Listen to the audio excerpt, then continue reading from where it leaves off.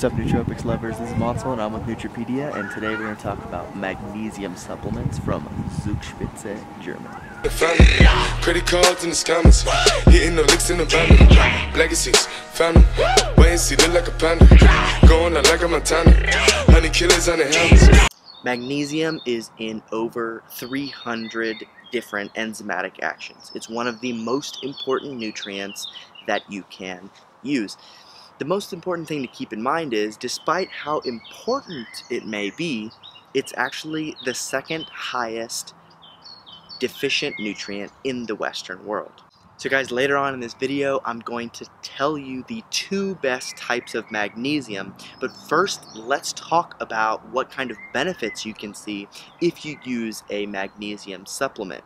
Now keep in mind, all of these benefits are only yours if you take the right kind, so stay tuned and I'll tell you which ones to use and which ones to avoid because there are a ton of magnesium supplements that are no bueno. So the first benefit is that magnesium helps to preserve neuronal function. It acts as a neuroprotective agent that can help with people long into their old age, and those without proper magnesium in their diet should supplement in order to get enough. Like I said, it is an, an important aspect of hundreds of different enzymatic actions and if you don't have the right magnesium, neurodegeneration is more likely to occur in your brain. So guys, Magnesium also has a calming effect, and this calming relaxation is often used in order to improve sleep quality and sleep latency.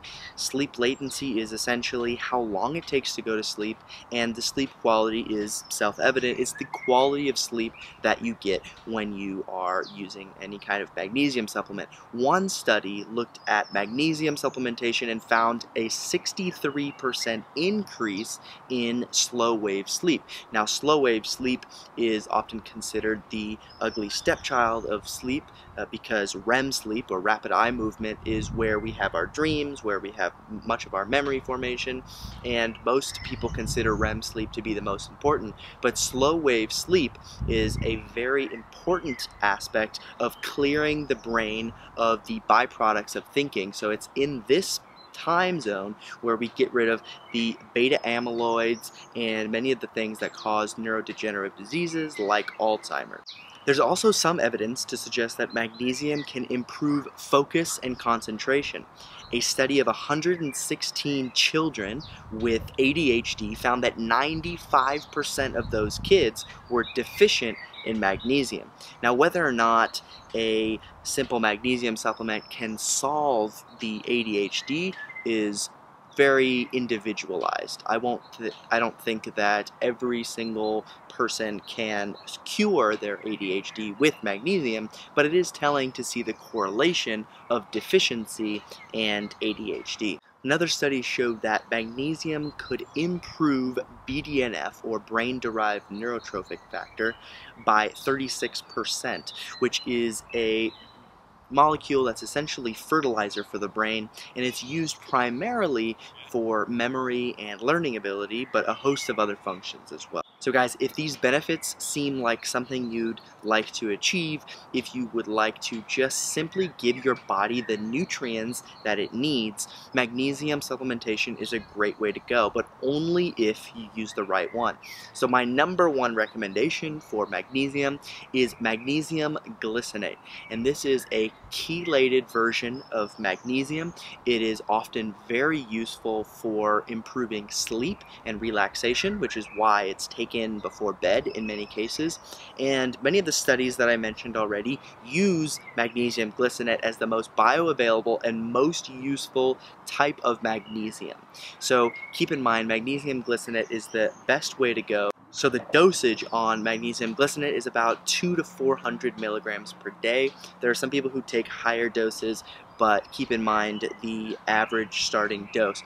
Also keep in mind magnesium glycinate does not taste great. It doesn't taste terrible, but it does have kind of a pond water, brackish flavor to it, even though I've never tasted pond water. And so you might want to consider shooting the two to 400 milligrams. Uh, just take a quick shot of it. Don't make it into a big drink because it might prolong your misery. So guys, the second form of magnesium that I recommend is magnesium L-threonate. And this is actually a recently synthesized form of magnesium from scientists at UCLA who developed a type of magnesium that can easily cross the blood-brain barrier. Now, if you have any experience with nootropics or improving cognitive performance, supplementation is often very limited based on the blood-brain barrier, and magnesium L-threonate can cross the blood-brain barrier very efficiently. So magnesium threonate helps you to improve sleep quality according to numerous QEEG studies and it could be an effective uh, method for you if glycinate doesn't work. Now finally, with magnesium threonate, there are some studies that show it can improve working memory, but keep in mind this was recently synthesized and so there aren't a ton of research studies that show L-threonate as being a useful magnesium source, but what does exist suggests it can be a very useful tool. So guys, I'm going to run through a list of the different magnesium supplements just to give you an idea of how many different types you should not use. Magnesium malate, no. Oxide, no. Chloride, no. Sulfate, no. Citrate, probably best to avoid it but it is a cheap alternative if you need it. Anyway guys, I hope this has been really useful. If you want to find out more information about my number one magnesium supplement choice, go ahead and click right here. You'll be taken to the magnesium glycinate page where it'll give you all the details you need to know in order to pick the right magnesium supplement, supplement for you. Anyway, I'll see you guys next time. Broads in Atlanta, Trisha Dublin and shit, sipping fountain. Credit cards and the scammers, wake up beside